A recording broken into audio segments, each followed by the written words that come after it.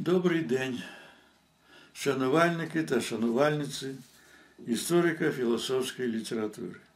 Сьогодні ми розглянемо, точніше почнемо розглядати місце та роль української філософської думки часів Київської Русі у контексті історико-філософської культури.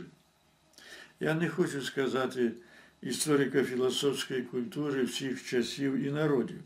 Справа в тому, що ми не знайомі з історико-філософською думкою народів Африки, Австралії, Північної та Південної Америки.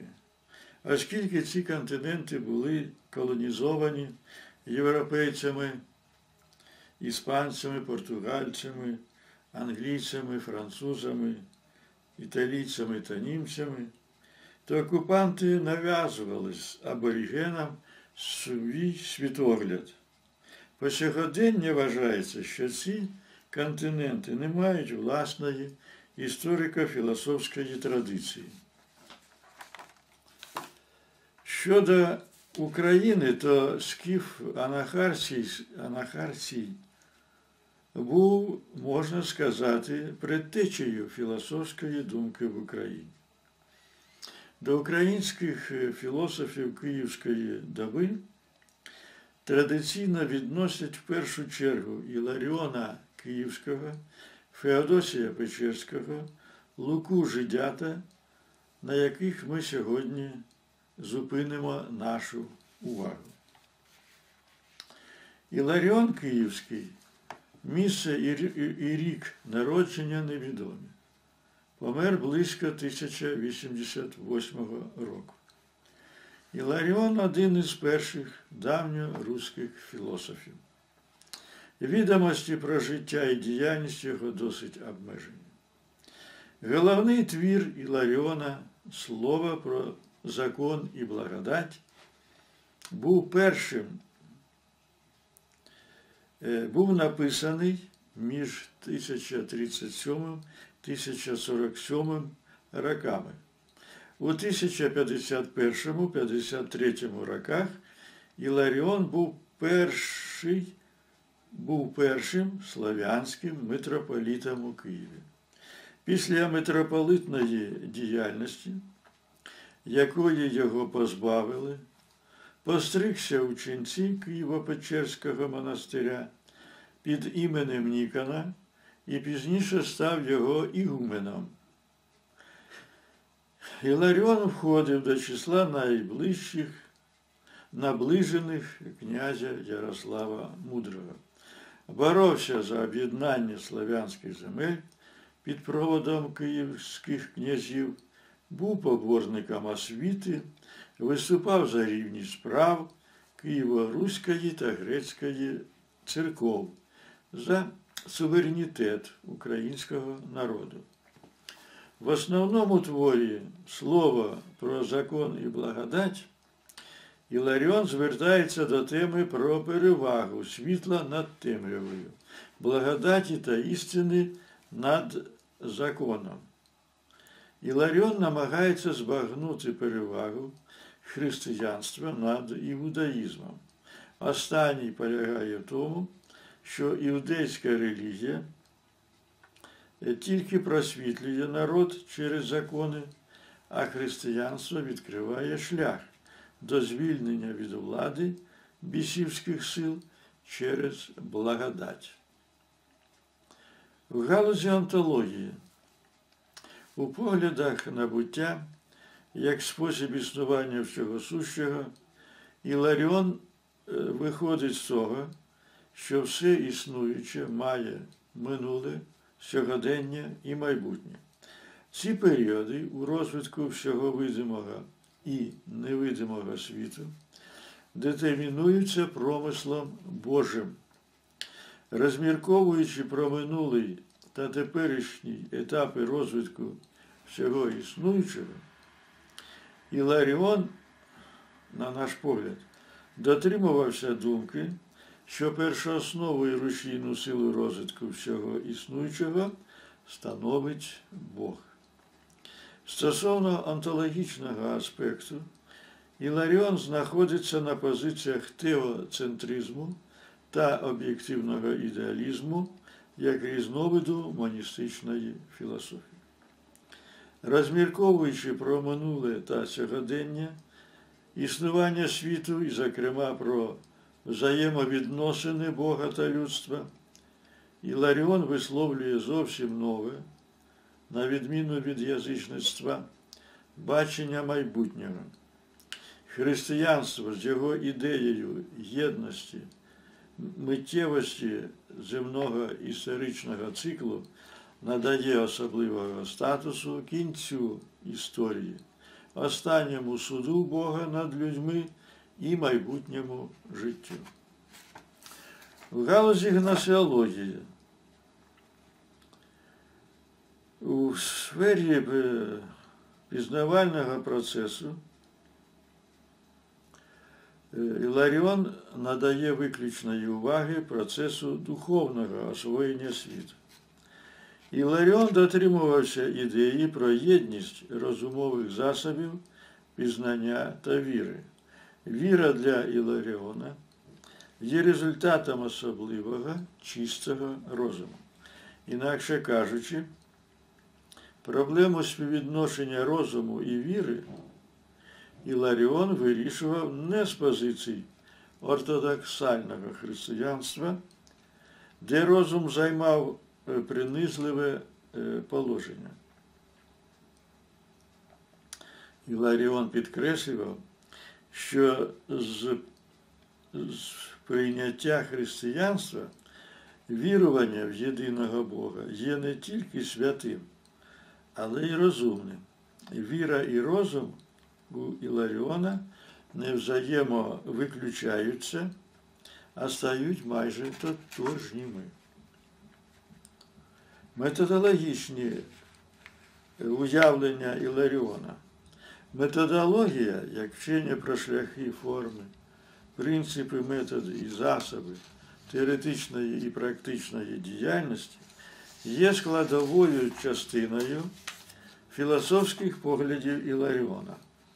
У цьому питанні Іларіон надавав переваги книжній мудрості, божественній благодаті. Бог є закон, благодать та істина. Разом з тим Іларіон віддавав перевагу не слову, а справі єдності слова і діла. В якості взірця він пропагував діяльність Ярослава Мудрого, який не тільки наповнював книжними словами серця вірних людей землі Руської, сприяв написанню книг, але не зупинявся на сказаному, а завершив діла. Методологія, як вчення про методологічні погляди Іларіона. Методологія як вчення про шляхи форми, принципи, методи і засоби теоретичної та практичної діяльності є складовою частиною філософських уявлень Іларіона. У цьому питанні Іларіон надавав переваги книжній мудрості, божественній благодаті. Бог і закон, благодать та істина. Бог є закон, благодать та істина. Разом з тим Іларіон віддавав перевагу не слову, а справі, єдності слова і діла. В якості взірця він пропагував діяльність Ярослава Мудрого, який не тільки наповнював книжними словами серця вірних людей землі Руської, але й сприяв написанню книг, не зупинявся на сказаному, а завершив діло. Великого значення у плані розв'язання проблем шляхів форм методів та засобів діяльнісного процесу Іларіон надавав серцю, в якому сіяв розумне і з яким пов'язана воля та бажання. Останні також відіграють вирішальну роль в діях людини. В якості аргументації сказаного проводиться Володимиром хрещення Русі. Цей акт ставився, стався не тільки результатом світла розума в серці, а й бажання серця і горіння духу. Проблема людини у поглядах Іларіона Київського. Проблема людини розглядається у певній історичній конкретиці. В якості абсолютної моделі людини розглядався образ Ісуса, Ісуса Христа. Не відкидаючи божественної природи Христа, Іларіон разом з тим розглядає Христа і як людинолюбця. Він наголошує на людській природі і світських діяннях Христа. Христос надто суперечливий образ людини. Як син Божий, Він ніс у собі безсмертя, і як син людський, Він смертний. Христос розглядається Іларіоном як приклад того, що кожна людина є смертною і безсмертною.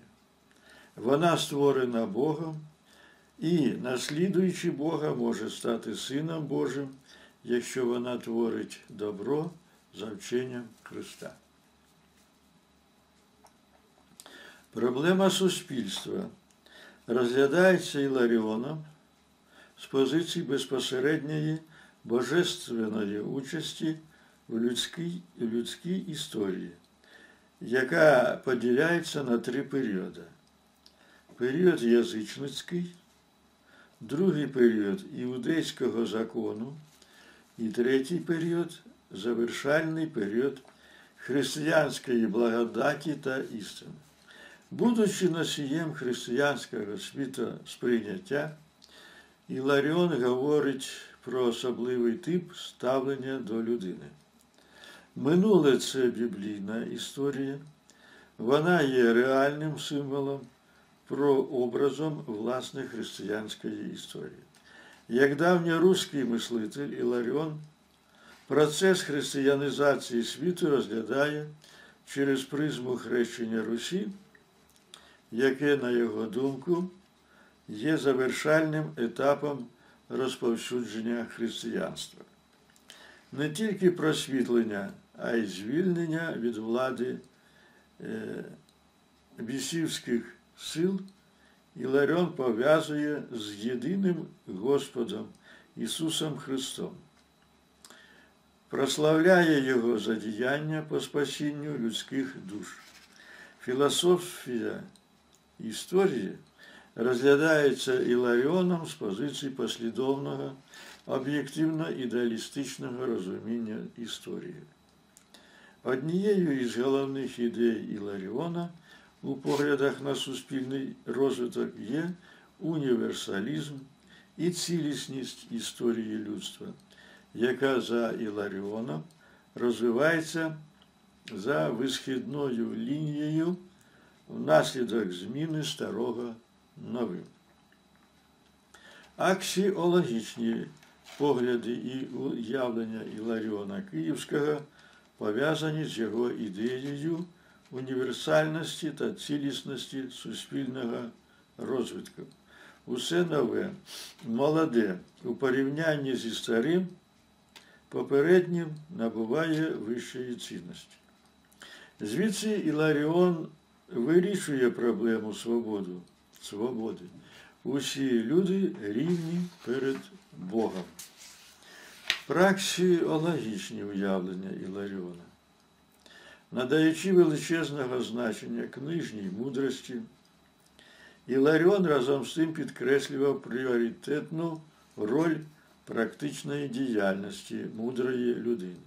Не випадково він був прибічником монархічного правління. У єдинодержавності він вбачав запоруку єдності і сили держави, її територіальної цілісності. Іларіон славив тих князів, які принесли славу землям руським сприяв розвитку освіти.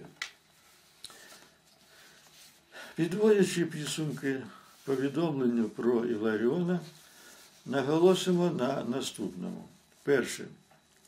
Філософська спадщина Іларіона Київського свідчить, що філософська думка в Україні розвивалася у тісному зв'язку з давньогрецькою філософською культурою.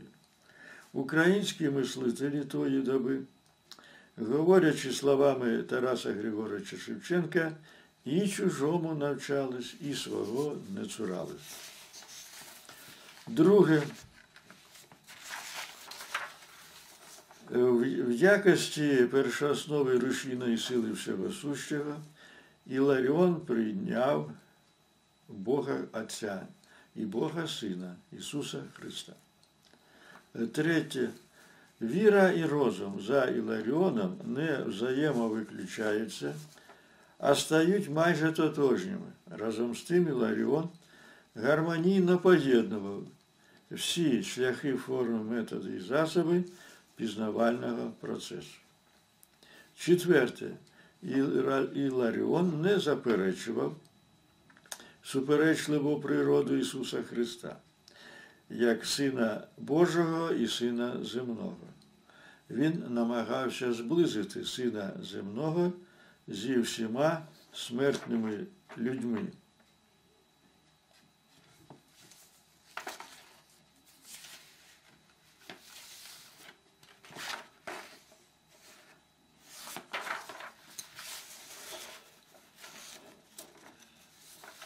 Четвер... П'яте. Історія розглядається Іларіоном з позиції об'єктивного ідеалізму. Їй притаманний універсалізм, цілісність, висхідна лінія розвитку від гіршого до кращого. Усі люди за Іларіоном рівні перед Богом. Шосте. Українській, українській філософській думці притаманна практична спрямованість. Іларіон підкреслював пріоритетну роль практичної мудрої, мудрої діяльності перед абстрактним теоретизуванням. Далі звернемо увагу на філософські погляди уявлення і вчення Феодосія Печерського.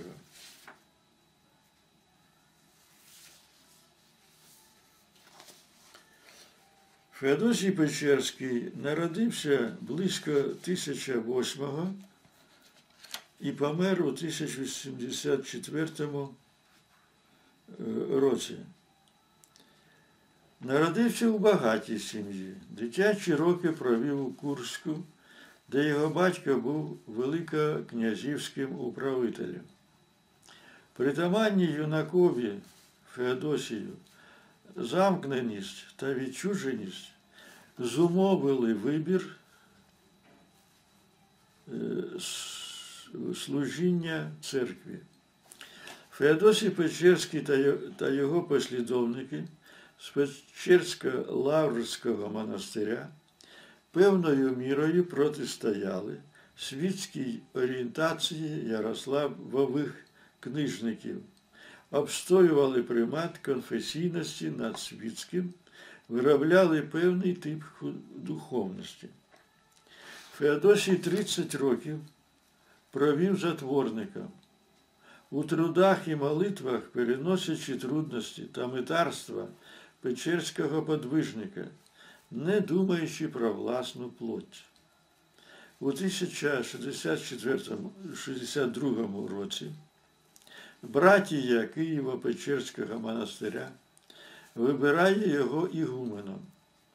Своєю діяльністю Феодосій сприяв зміцненню позицій монастиря, посиленню ролі православної церкви. Феодосій написав 11 творів, головні із них слово про терпіння і любов, повчання терпінню і смиренню. В цих творах Феодосій виступав ідеологом православ'я, пропагував основи християнської моралі, боровся за її чистоту. Онтологічні погляди Феодосія Печерського сформувалися в дусі християнського теоцентризму.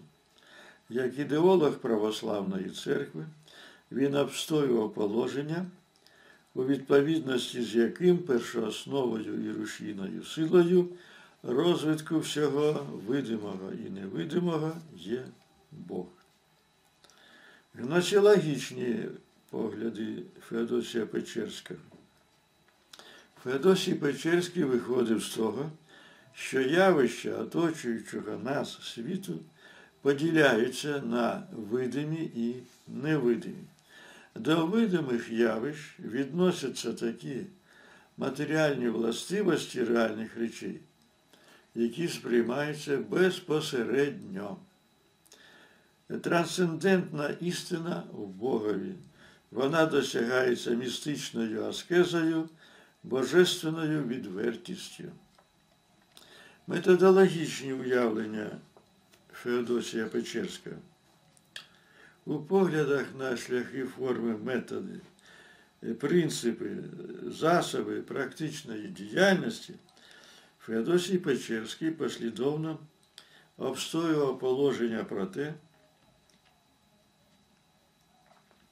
що істинний шлях полягає у служінню Богові, без любові до роду рідної матері, відмовляючись від світу і ненавидячи його.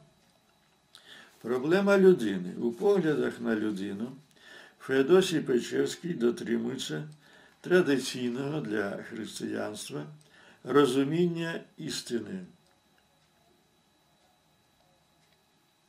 розуміння людини, а також ідеї виборності чернецтва, винятковості ангельського чину. Проповідуючи основи християнської етики і моралі, він закликав ченців повністю відмовитися від свого від світу, вимагав від братії покаяння, повного звіту у справах і помислах, дотримування постів і молитов, засуджував користолюбство і зажерливість іноків. Проблема суспільства. Суспільство та його буття за Феодосієм є сфера божественного промислу. Він дотримався християнської ідеї щодо богообраності князя, обґрунтовував положення про те, що світська влада йде від Бога. Феодосій Печерський також вважав, що світські володарі не зберігають, а лише захищають православ'я стоячи на сторожі Божих і церковних інтересів. Провідна роль в суспільстві належить не світській, а духовній владі. Логічно продовжуючи цю тему, Феодосій доводив необхідність створення над суспільством та світською владою чернечого нагляду. Йдеться про те, що релігія має примат над політикою, і чернечий нагляд, відповідно, має поширюватися на всі політичні відносини, не обмежуючись чисто релігійними справами. Аксіологічна доктрина Феодосія Печерського. Найвищою цінністю для християнина за Феодосієм є визнання Бога як Творця видимого і невидимого світу, основи і рушійної сили всього існуючого. Істинним і, відповідно, найціннішим є Царство Небесне, якому протистоїть не тільки пекло, а й світ земний. Праксіологічні уявлення Феодосія Печерська. Служіння Богові. За Феодосієм слід пов'язувати не тільки зі словом, а й ділом. Як представник православної церкви, Феодосій Печерський був далеким від релігійної толерантності. Він нетерпляче ставився до єретиків і відрізнявся послідовною ортодоксальністю.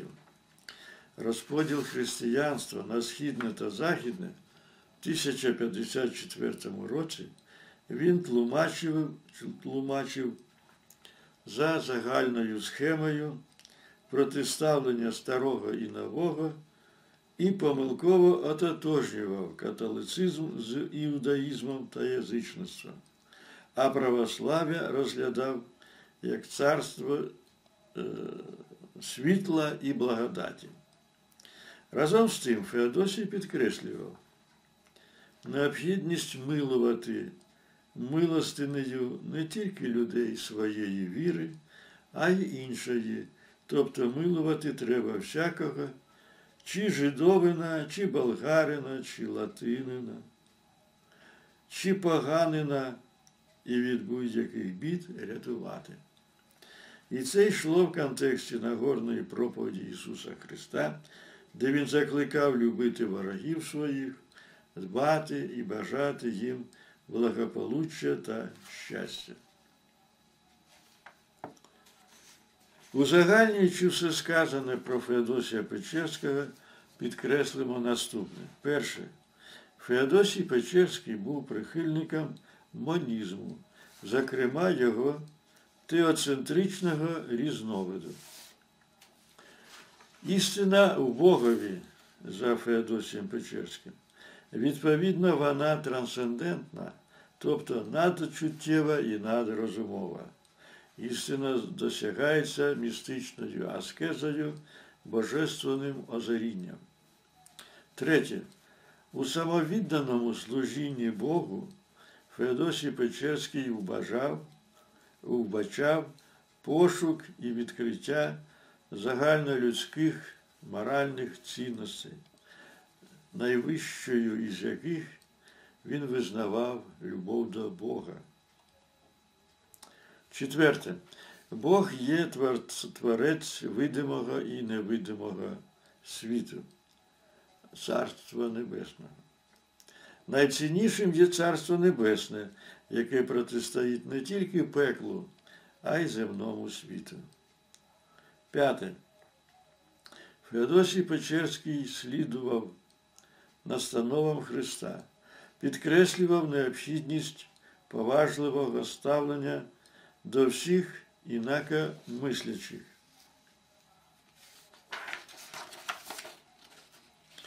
Милувати милостинею представників інших е, віросподівань, рятувати їх від будь-яких бід.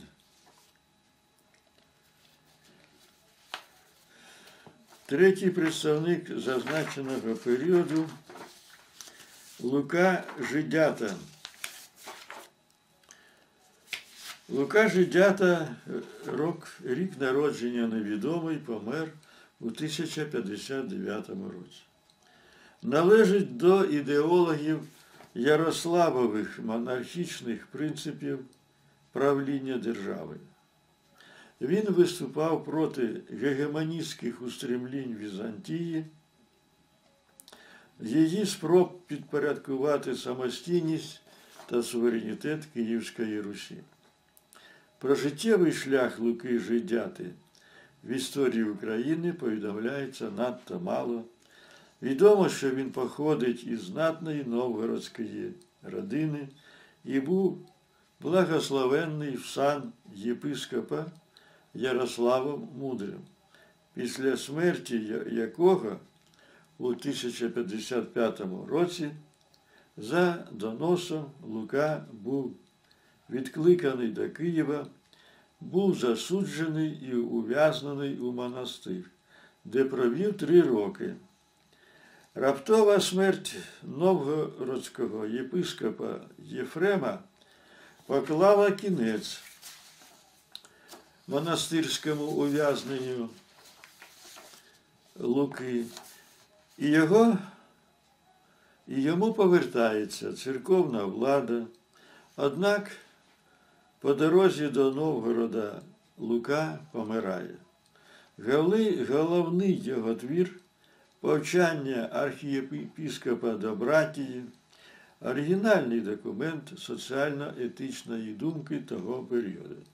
Лука Жидята виступав з ідеєю примирення між верхами та низами давньоруського суспільства. Він активно пропагував головні положення Нагорної проповіді Ісуса Христа, зокрема ті, що стосуються примирення та милості. Проблема людини. Лука Жидята надавав переваги моральним принципам у стосунках між людьми, зокрема любові, у відповідності до яких суспільні відносини мають розвиватися в дусі загальної згоди та миру між людьми. Щодо узагальнення інформації про Луку Жидята можна сказати наступне. Перше. Лука Жидята був активним пропагандистом євангельського вчення, особливо Нагорної проповіді Ісуса Христа. Друге. Лука Жидята активно виступав за примирення і співпрацю е, всіх верств населення давньоруського суспільства. Дякую за увагу. На все добре.